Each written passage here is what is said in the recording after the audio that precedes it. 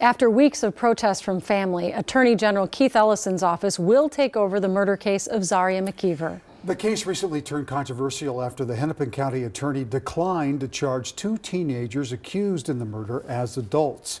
Governor Walz then decided to sign off on reassigning the case. Danny Spewak spoke with McKeever's family tonight about this huge decision. So I'm looking at my phone, it rings, I'm like, hello? Tiffany Epps got a call Thursday from someone named Tim. Tim who?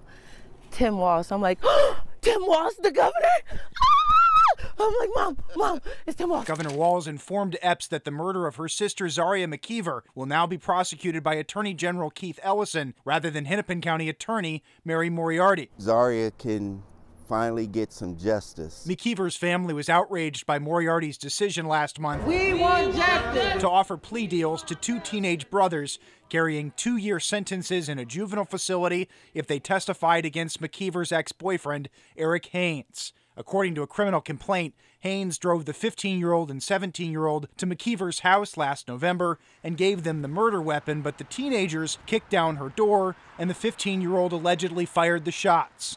Ellison says he deserves the case because Moriarty's office acted, quote, so far outside the normal course for the prosecution of such a heinous crime. Now, everything should happen the way it's supposed to happen. But Moriarty says Ellison's involvement, quote, is deeply troubling and should alarm prosecutors across the state, arguing that it undermines the long-standing constitutional authority of elected prosecutors. McKeever's family disagrees. This is just a wake up call. Prosecute, don't public defend, and then no one will have to step in to take over. Ellison acknowledges that it is probably too late to change the plea deal for the 17 year old, but the 15 year old's case is ongoing. None of it will bring back McKeever. She should be here.